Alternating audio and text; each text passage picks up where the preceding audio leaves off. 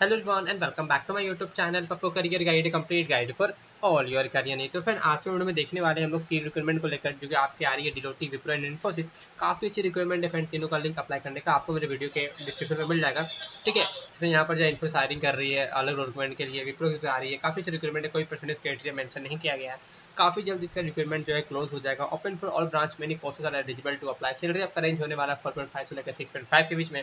और high CTC मिलने वाला है और आपका बोनस भी हाई देखने को मिलने वाला है। चलिए फ्रेंड करते वीडियो को स्टार्ट फ्रेंड सबसे पहले लोग यहाँ बात कर लेते हैं विप्रो काफ़ी अच्छी रिक्वायरमेंट यहाँ पर कर रही है। सिस्टम इंजीनियर रोल के लिए लोकेशन पुणे का होने वाला है। बाकी आप लोग चेकआउट कर सकते हो। यहाँ पर डूज में कुछ लिखा गया है कि आपका क्या होने वाला है। जॉब डिस्क्रिप्शन और उससे पहले बता दो फिर इसके लिए आप लोग किसी भी ग्रेजुएट से हो साइंस ग्रेजुएट से हो, आप लोग एलिजिबल हो। मतलब कि 2019 से लेकर 22 बैच के लोग, सारे के सारे लोग आप लोग एलिजिबल हो। किसी भी ब्रांच से हो ना, आप लोग mechanical civil C S C I T W triple E किसी से भी हो, आप लोग इस पोस्ट के लिए एलिजिबल हो।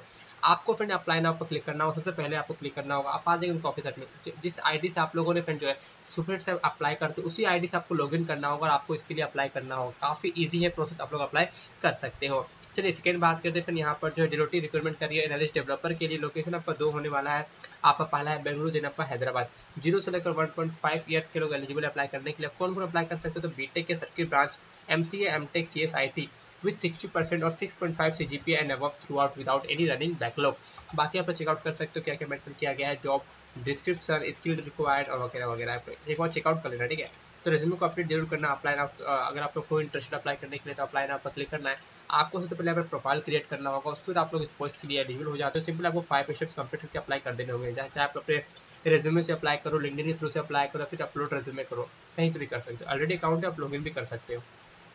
लास्ट बात करते हैं यहाँ पर जो इन्फो साइडिंग कर रहे हैं प्रोफेसर एक्सिक्यूटिव के लिए bachelor of arts bachelor of commerce bachelor of technology के लोग एलिजिबल अप्लाई करने के लिए पोस्ट के लिए, बाकी आप रिस्पॉन्स चेकआउट कर सकते हैं। फिर यहाँ देखोगे, फिर यहाँ मैंशन किया गया है।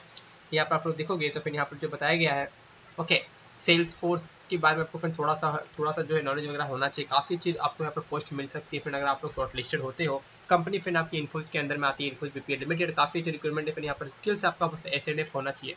और लोकेशन आपका वेरी करेगा बिज़नेस रिक्वायरमेंट के हिसाब से आपका सर्विस लाइन होने वाला है सर्विस बीपीओ का और आपको अप्लाई इसमें भी आपको अप्लाई कर लिंक मिल जाएगा अप्लाई वीडियो को डिस्क्रिप्शन में अप्लाई मिल जाए जय हिंद, जय भारत।